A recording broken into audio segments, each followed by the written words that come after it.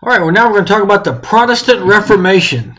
Uh, it happened from 1517 to 1648, uh, both symbolic dates. Uh, the, the, picture there is Martin Luther in Germany posting his 95 Thesis to a church in Wittenberg, Germany, which symbolically started the Reformation. There were there were previous people who were talking about change in the church, but this is what we generally accept as the symbolic start. So let's get into it and find out who Martin was and some other changes that happened in France and England and Spain, uh, who some other reformers were, and what the Catholic Church did to kind of counter the Reformation. so these are things I want you to take out of the course. You can pause on this, take a look at it. We're going to understand what the Catholic Church was and the Pope before and after the Reformation. What were the? I want you to restate and tell me the causes of the Reformation, discuss the impact of the printing press, which we talked about as one of those innovations during the Renaissance that's now going to really come into play. We're going to talk about key points of the Reformation, and you've got them listed there. We'll have separate slides on those and talk about why they're important. We're going to explain the results of the Catholic Reformation, what they looked at. And we're going to talk about good old Henry VIII uh, and his creation of the Anglican Church in England and then I want you to take a look at explain the impact of the Reformation in France, Germany, and Spain. So let's get into it here. Back in 1500, the Catholic Church was the most dominant and powerful institution in Europe. They controlled everything. They controlled what information went out. They controlled the kings. They controlled what schools there were. They owned everything. And about 50% of the property that was owned in all of Europe, if you look at your map, was owned by the Catholic Church. It was led by the Pope and still is, located by the Pope in the Vatican in Rome. And prior to this Reformation, all Christians were Roman Catholic. There wasn't anything else. You had Jews and you had Roman Catholics. You also had Islam, which we talked about before, and Buddhism and Hinduism. They were in their respective areas. But this Reformation is going to specifically only talk about the Reformation against the Catholic Church. The problem with the church was a lot of people thought it was corrupt. Uh, people resented how wealthy the church was, and the the cardinals, the bishops, the priests, but they didn't pay taxes. They lived in these elegant palaces. They wore jeweled robes while poor people were poor, and these guys are members of the church. Why weren't they dressed more modestly and looking like they represented God instead of money? They were worldly, or they had worldliness. Uh, they were immoral and dishonest. There were priests who were having children. There were priests who were stealing money.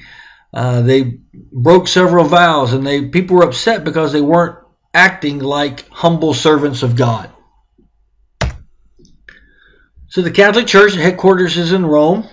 They believe in seven sacraments or holy things that you have to do as a Catholic. Much like the five pillars of faith for Islam, Catholics have the seven sacraments, and they're listed there and then you have down here, you have depictions of each one of them from stained glass windows.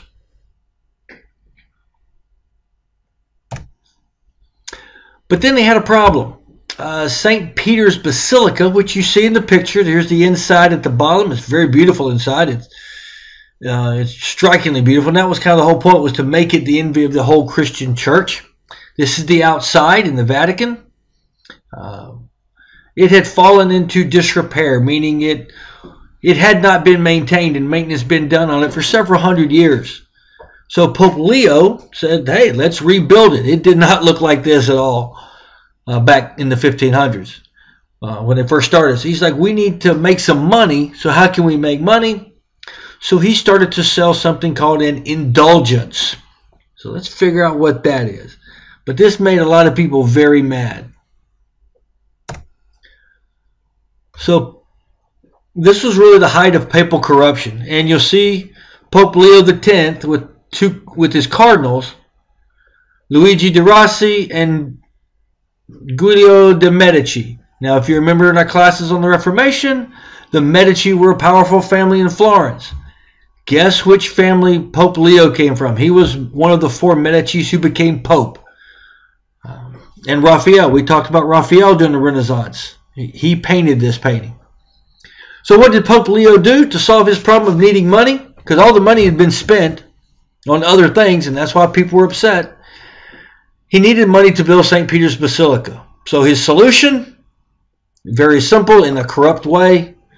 He sold church offices. Somebody said they wanted to be a cardinal. He said, Give me X amount of money, and they were a cardinal. Somebody wanted to be a priest. They paid money, and they were a priest. Did they have to be educated? Did they have to follow the rules? Did they have to go through the certifications? No, they just had to pay money.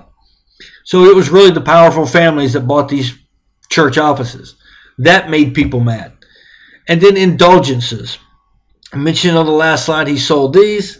So what are these indulgences that we're talking about? It's one of five problems that the people had with the church.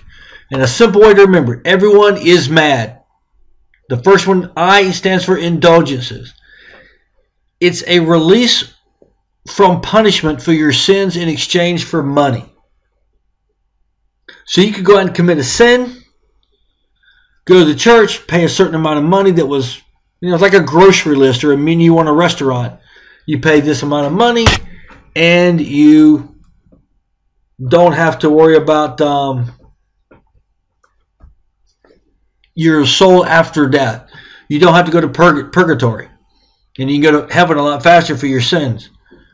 Well, this kind of upset the poor people because they couldn't afford these indulgences. So they their salvation was in question, while the rich people, their salvation wasn't in question because they would commit sins and they would just pay the church to pay off their debt for their sin. Then you had simony, which is the selling of church offices to the highest bidder. And then these people would get these high jobs and then they would tax the poor, which led to corruption. The church was supposed to be holy servants of God, but yet they were not treating the people very good. And then merchants, they wanted to charge interest on loaned money, high interest charges, like loan shark interest. You borrow money, they want to charge 50%. The church said this was wrong. It's called usury, U S U R Y, right here. The church said it's wrong to charge and a lot of interest on loan money. Charging interest is fine, but don't be extravagant at it. Well, that upset the merchants, and the merchants had a lot of money, and they were upset at the church. People were upset at the absolute wealth and power. Look at inside St. Peter's here, how beautiful and ornate this is. Uh, why did it have to be that way when there were poor people? People were questioning the church. And then people, Germans and English, were mad and they felt alienated. Alienated means separated from the group by the church because all the popes were Italian. How did they know how Germans and the people in England felt about things? So they were upset because it was Italians everywhere. Not racist, but Italians just couldn't understand the Germans and English. So they wanted a German pope or an English pope. So those are the is mad, remember everyone is mad problems with the Catholic Church. So we just talked about an indulgence. You'll kind of see one down here playing in the video. Luther assumed that when Tetzel's corrupt sale of indulgences was brought to the Pope's attention, the Church would take corrective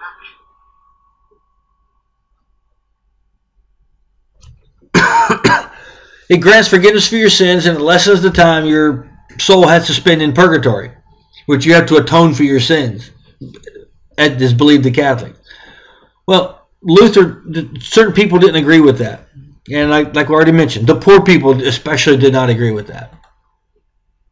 So who benefited? The rich. Who loses?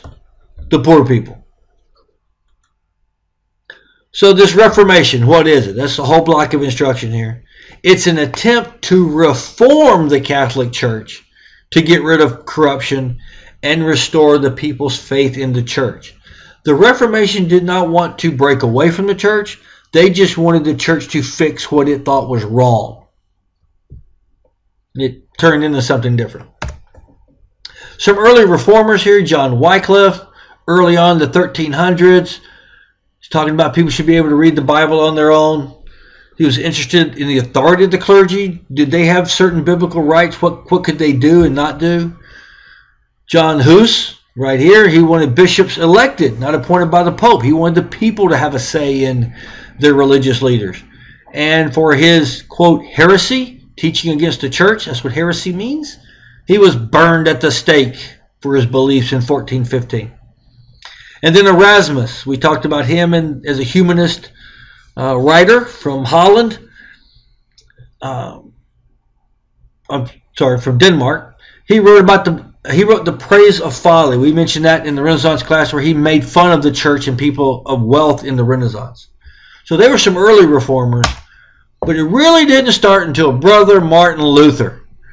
Uh, he is a friar in the Catholic Church, which is just below a priest, uh, but he's more than just a regular layperson, which is someone who just reads the Bible. But he was troubled by the sale of indulgences. Uh, the indulgences, the sale of salvation, and other practices of the church. He lived in Germany. So in March, in uh, October of 1517, so this will be the 500th year, he went to the church door and posted 95 theses or his problems that he had with the church to start a discussion. Saying, hey, why are we doing these things? Let's just think about it. He put it on the church door, but the church door was the bulletin board of the day. That was the internet. That's where you went to read things. A lot of things were posted to the church door. Why? Because everybody went to church. That's the one place you knew everybody would see it. Uh, and again, his intent was to reform or to, quote, fix the Catholic Church, not break away from it. He was a very devout Catholic. So he had his problems. These are some of them. He didn't like the indulgences. He didn't think they had the power to remit sin or to cancel sin. He criticized the Pope and the wealth.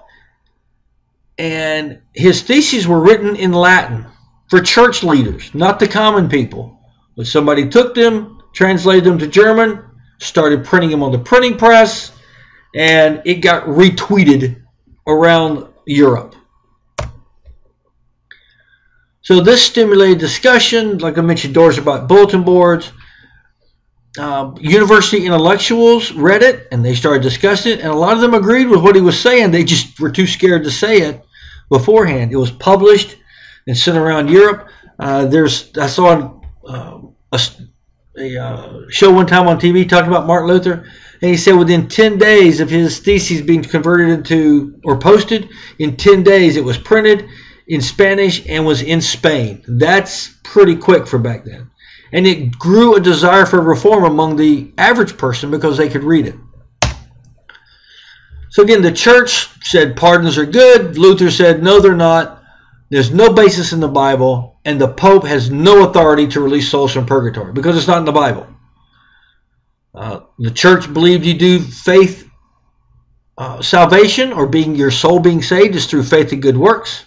Luther said, nope, only faith alone the church viewed the Bible as not the only source, but the Pope and the clergy could also make rules. Luther said, nope, sorry, it's only the Bible is the only source of truth. And the church had the seven sacraments. We talked about those earlier. Martin Luther only believed in two uh, baptism and communion. So, how did word spread quickly? We just talked about this a moment ago. Uh, it was the printing press it made it possible for his beliefs to go everywhere. Printing press was started earlier. One of these printing presses had just arrived recently into Wittenberg, where he lived. So his posted when he posted his uh, theses on the wall, somebody wrote them down, went over, started publishing them, uh, and it was printed in the vernacular. Vernacular means your native language. So it was printed in Spanish, so the Spanish could read it. It was printed in German. It was printed in French. It was printed in English, so the people in local countries could read it in their language. So here's the printing press. It now made books available to the masses, not just the rich. The more you print, the more, the less you can charge, the more money you can make. Uh, it made printing cheaper. In the old days, when you were handwriting, you could do maybe 40 pages a day. With the printing press, you're doing 3,600 pages a day. That's a lot. That's a whole Bible you could do. That's 3,600 leaflets you could print up. And if you had two machines, that's that's equally impressive. The machines are pretty simple. The hard part was the press tiles that you're seeing somebody here put together with the letters. It caused people to have access to books whenever they wanted them there was a rise in literacy rates. People started to learn to read because they started to learn to read the Bible, which was the first book printed, and it was printed in many languages. So once they could read the Bible, they could read other things. So what was the reaction to this Luther guy? Well, he gained a lot of support from the people because a lot of the people were poor, poor, including a lot of the princes in the Holy Roman Empire, which was kind of the middle of Germany, what we call Germany today. It was a huge um, collection of nations and states. Millions of people converted to Islam and said, or to, excuse me, millions of people converted to Lutheranism and told the Catholic Church goodbye. Uh, he, get, they get, he gained criticism from the church. The Catholic Church did not like this. They even threatened to excommunicate Luther, which means kick him out of the church and damn his soul, if he didn't recant, which means take back his teachings. So that several people have already been. Charles V, uh, the Pope asked for him to come to Rome. He didn't go. Uh, he never recanted. He said, I am preaching what the Bible says. How can I be wrong? So the church excommunicated him and went bye Felicia and they kicked him out of the church. And he was not upset about that because he believed he was right. And so he was excommunicated. Those who followed him were called Lutherans. Martin Luther didn't like the concept of that. In his writings, he writes, Why would you name it after me? I teach after Christ. I'm just telling them what's in the Bible. And that became a new Christian denomination. So you had the Catholics and Lutherans. Uh, Lutherans are also called Protestant because at the time they were protesting papal authority. Protestant protest means I'm against, I want you to change something. Later on, there would be other uh, denominations or categories or types of Christianity. We'll talk about a, a few here in a minute. Now, just so you know, uh, there were women who were involved in this movement as well. Argula von Grumbach, she was in uh, a very noble family, which means a royalty, if you will, in Bavaria. She challenged the university faculty to a debate because they tried to force a student to recant Lutheranism. And the student was like, no, I'm not going to say that I don't believe in Lutheranism because I do. She heard about it and she forced him to a debate and debated them and told them that they were wrong. Uh, of course, at that time, women weren't supposed to do that. Uh, her views, uh, she had a lot of public opposition, mainly from men. Women didn't oppose her, um, but nobody else would uh, because she went out and did what she thought was right, the right ethical thing. She was threatened, she was bullied, she was name called, uh, but she went through and persevered and did what she thought was right. She wrote, met and wrote often with Martin Luther, and she encouraged other women to advocate for themselves. So you can see here, there's Wittenberg, here's kind of the spread of Protestantism, Protestantism English, woo, started here in Wittenberg, Went up to Sweden we saw the green there. Um, some folks down in Switzerland heard about it. Uh, they started uh, the Calvinist and in France. So that changed things. They went up into Scotland and over in here. So this is just kind of the start of it early on. So here's this guy, John Calvin. Uh, he led the Reformation in France. He broke from the Catholics in 1530 after reading about from Martin Luther, and he agreed with a literal interpretation of the Bible, but he had a new idea, a new idea called predestination, where God determined before you were born whether you would be saved and go to heaven, or whether you would be go to hell, or whether you would be a slave. Uh, his his teachings further expanded Protestant movement, but his his followers were called Calvinist. Luther didn't believe in predestination; John Calvin did. Uh, and he created a theocracy for his movement. A theocracy is when the church leads the church in religion and God leads the nation. So his movement wanted to have church and state together. So what happened? Uh, John Calvin, his movement spread into France, and then you had the Edict of Nantes, N-A-N-T-E-S. This is 1598. Remember, Calvin started in 1530. So this is what, 68 years, which is longer than most people lived back then. But this Edict of Nantes granted the Huguenots, which is a French word for Calvinist, uh, so just followers of John Calvin, gave them the freedom to practice their Protestant religion in France. So it took 68 years for the king to say, okay, this is fine, you can practice Protestantism in France. That's a long time. So what about England? There's uh, good old King Henry VIII of England. Uh, and that's the last painting that was done of him by uh, Mr. Holbein. He was Roman Catholic, because everybody was, unless you're a Catholic, uh, Calvinist or a Lutheran. He opposed Martin Luther. Uh, he supported the church during the Reformation. He's like, hey, no, you need to be part of the Catholic Church. He married a Catholic woman from Spain, Catherine of Aragon. Uh, but he became a reformer not because he disagreed with the church, but because of a personal reason uh, and a political reason. And here they are. His personal reason, he wanted a divorce from his first wife so he could have a son. She gave him a daughter. He was worried. She was getting older. He wanted a younger wife to have a son. And he was tired of sharing power with the church. But again, all the popes were Italian. They, it made the German and the English mad.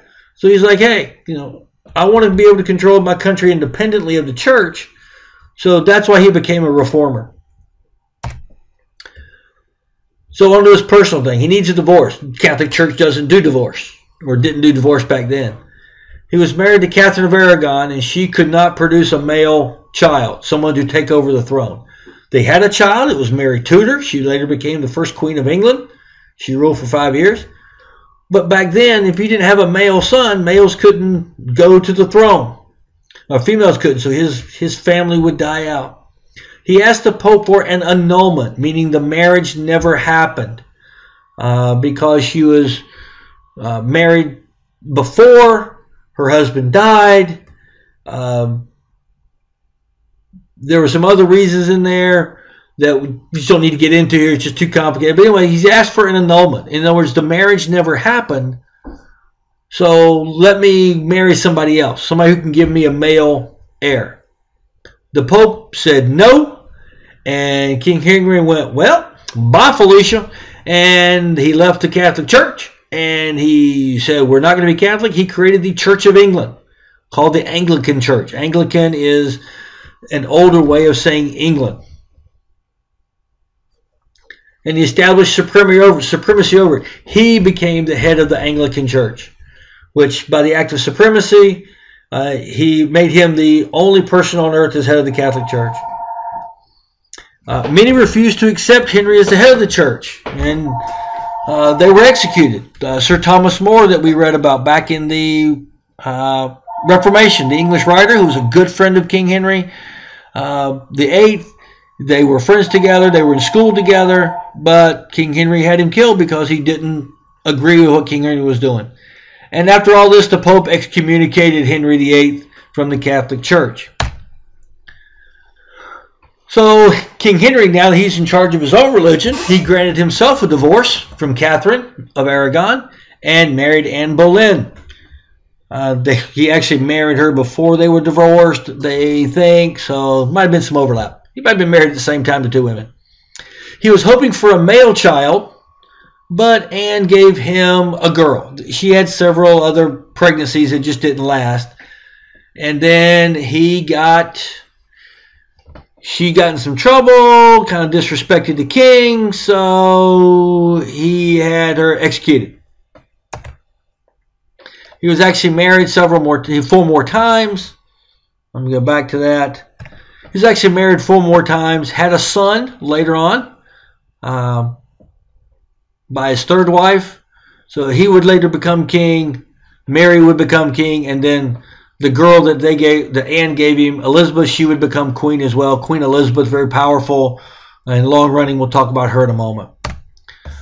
So here's kind of where we are with the branches of Christianity. Had Christianity they had a great schism between Eastern Orthodox and Roman Catholic. If you took World History 1, you know about that. So there's two types of Catholicism. Well, in 1517, Protestants started breaking off.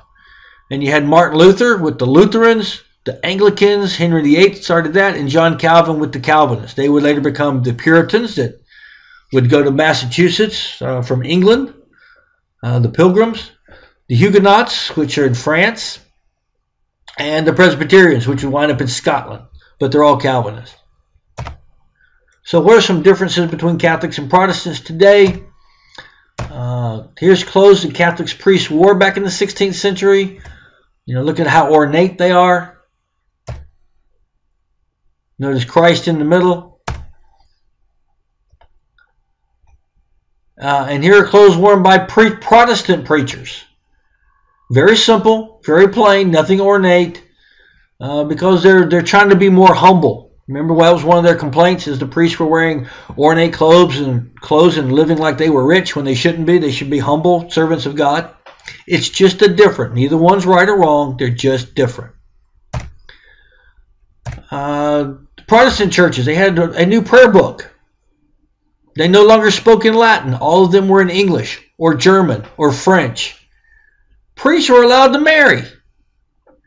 And they took down decorative art from churches. It was uh, the Protestants considered them against the Ten Commandments, one of which says you will have no graven images or idols. So they took those down and just had crosses. No big pictures of Jesus, not a lot of famous art, not a lot of decorative.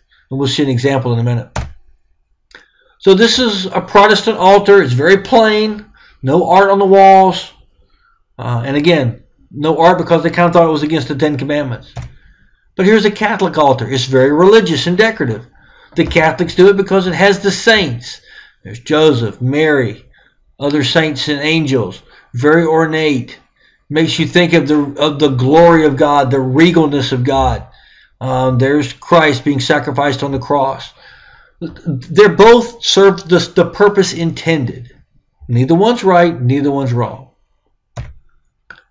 Here's a Protestant church, very plain on the outside, uh, because they're concerned about what's going on, on the inside with people. And here's a Catholic church, very big, very grand, lots of stained windows, very pretty on the side. Again, trying to show the glory of God. So let's talk about this Catholic Counter Reformation, where the Catholic Church was trying to stop the spread of this Protestantism, Protestantism, Protestantism. Woo, that's a hard one to say. It was losing followers, which meant they were losing money.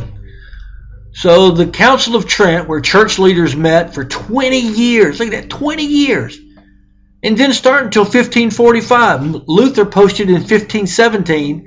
His movement started growing, and what, about 30 years, 28 years later, the church decided to do something about it. They met for 20 years to make reforms, which they made very few reforms. They just ended up saying, yep, everything we believe is what we believe, and we're not changing anything. But they did take certain action to end some church abuses. I don't need to get into what they are, but they made a little bit of, of effort, but they really didn't take care of the concerns that other people, that the Protestants had. Uh, they did create the Society of the Society of Jesus or the Jesuits. Uh, it was created by um, Ignatius of Loyola. He was a priest. He was a religious leader. He was devoted to the Catholic Church. But it was the purpose of these was to defend and spread the Catholic faith around faith around the world. They sent missionaries out to Asia, Africa, the Americas, uh, to preach and try to convert those people, those different cultures to Catholicism. And he founded Catholic schools uh, to better train priests. Uh, Xavier University in Cincinnati is a Jesuit school. Uh, and, and there are others out there. So that was their purpose is to go out and counter um, Protestant, Protestantism by sending missionaries out to gather more people so they could tax them and make more money that way to spread the Catholic faith, Catholic faith, and to better train priests to try and get rid of some of the injustices uh, and abuses they were doing.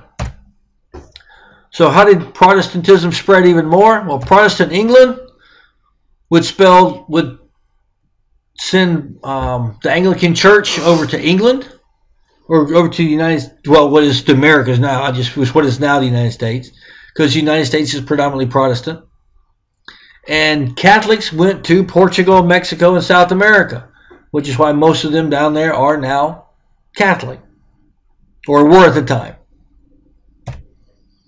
so what happened in some other countries We talked about England a minute ago. Uh, France, we had the Edict of Nantes that said that the Calvinists could practice their faith. Well, in Spain, they had something called the Inquisition. And this was a very bad time. It lasted for 300 years. But it was the purpose, it was dominated by Catholics because they were trying to protect the Catholic faith. But it was to identify a heretic, which is somebody who talks bad about the church and somebody who preaches opposite of the church preachings. So any heretics from recent converts to Christianity, because they would almost force a lot of people. They were trying to focus on Muslims and Jews.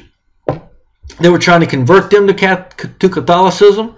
They would kick them out of the country. They would torture them, or they would just kill them for not being Catholic. Uh, it was not a very good time to be not Catholic in Spain.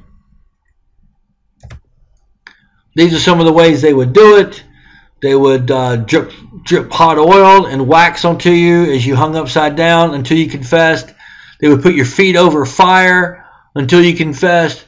They would crush your head into a vice.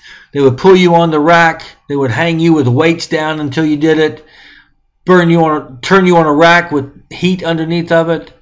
Uh, poke, looks like poking you with sharp sticks. They would pull you different ways and cut off your wind uh, burn you and lean you up until you, you burned or you confessed.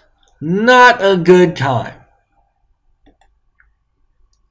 So how about Germany?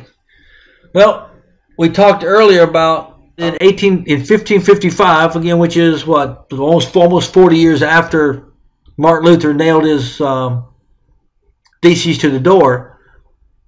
King uh, Charles V said German princes could decide for their own state if they wanted to be Catholic or Protestant. So it basically ended the Pope's authority within their states and within the Holy Roman Empire. Uh, in what we we're calling it Germany for simplicity's sake, if you want to know more, but it's kind of all of Middle Europe. And then that led to because if you got a Catholic a Catholic region right beside a Protestant region, they would have a war which led to the Thirty Years' War starting in 1618 and lasting until 1648. It was a very devastating war between Protestants and Catholics. Um, it had all those countries involved. It was mainly fought on German soil. Uh, but it ended with the Peace of Westphalia in 1648 that basically said, hey, Catholics, you can be Catholics, Protestants, you can you can practice your faith, which is what they had before. So nothing was really solved except for a lot of death and destruction.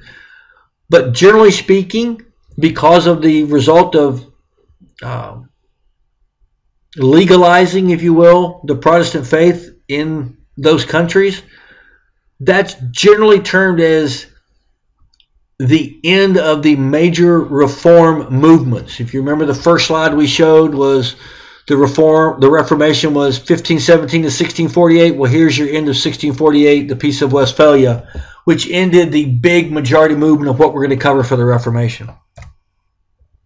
So in England, King Henry dies, his son takes over for a few, few years. Mary comes in, Bloody Mary. She's in for like five years. She takes, she gets rid of the, the Anglican Church. She goes back to Catholic because her mother was Catholic. She kills a bunch of Protestants because she's she Bloody Mary. She eventually dies because she's older. And then Elizabeth takes over. Elizabeth very much loved her father, Henry VIII. And she was raised as an Anglican. Um, Mary, before her, was raised Catholic because of her mother. But uh, Elizabeth makes the Anglican Church the official Church of England. And for that, she is excommunicated by the Pope and the Catholic Church but which she's fine with because she's she's Anglican. She never was a Catholic anyway. She gave a tolerance to Catholics, most about mostly out of respect for her sister and her faith, because she loved her sister, and for the people because she didn't. She wanted her people to be united in love for country and practice their own faith. She led a lot of expansion, expansion and colonialism of the British Empire, and her victory over the Spanish Armada and an armada is a um, large fleet of ships that was coming to invade England. She defeated them in 1588, and because now Spain doesn't have a large navy because they're off the bottom of the English Channel, uh, England becomes a huge world power, which was going to lead us into our empires, which is our next block uh, of learning here in world history. So after the Reformation, you can see where Lutheranism is, all this gold. Uh, a lot of Roman, a lot of countries are still Roman Catholic. All the yellow, obviously Italy here. Uh, Calvinists are in the the little teal or wherever that is. There's a lot of it's a lot of Catholics in here, but still got a lot of Protestant minorities. The Ottomans are out here, Eastern Orthodox, Russian Orthodox, and everything in this uh, what is more of an orange, red orange. These are all is these are all Muslims or Islam. So that's kind of what it looked like after the Reformation. Now here's just a timeline that's really good for you. You got the printing press, so it kind of puts all these dates into a real sequence of events for you. So Gutenberg invents, invents this movable type printing press. Erasmus starts, he princes in praise of folly in 1509. Thomas More publishes Utopia, talking about things in 1517. Same time, Luther posts his 95 Theses on the church. The Bible becomes published in German in 1534. People start reading it. King Henry VIII in England says, bye to the Catholic Church, creates the Anglican Church. In 1545, this Council of Trent, the Catholic, so anything on this side is the Catholic actions. Sorry, I didn't explain that. The blue is Catholic actions. The pink is any Protestant actions. The Council of Trent meets to kind of stop all this is going on down here. Like, wait a minute, we got to do something. This is not a good thing. Uh, the Peace of Augsburg that grants the princes in the Holy Roman Empire the ability to say if they want to be Protestant or Catholic. Council of Trent ends, no real action the Edict of Nantes in France that says Huguenots can practice their Protestant faith. Then you have the Thirty Years' War. All this while, the Catholic Reformation is still trying to go on and finally ends in 1648 after the Thirty Years' War with the Peace of Westphalia, which goes back again saying, yes, Protestants are a legal faith. You can practice them here, and you decide what you want to do. So that's really the Reformation in a nutshell. Um, that didn't take too long. Uh, but it took many years to develop. It didn't just start happening like today when you have social media. The social media then was the printing press. The social media back then was people traveling and trade. It began over issues with the Catholic Church. Remember, everyone is mad. Uh, had, these are the kind of the three important leaders you need to know: Martin Luther, John Calvin, King Henry VIII, and their their you know the impact they made on the movement. Uh, once you understand about the printing press, it had a great impact on spreading ideas. Again, that was kind of the internet of the day. That's how people got messages out. It just took longer. And the results of it, honestly, in the middle there was a lot of destructive wars between Catholics and Protestants. It really didn't end and solve anything, um, except a lot of death and destruction. But it, the, the time period we're talking really ended with the Treaty of Westphalia in 1648 it basically said, okay, Protestantism is a authorized legal religion. So with that, I think uh, you've got a good overview. I hope it helps you study a little bit, and we'll see you with the next block of instruction.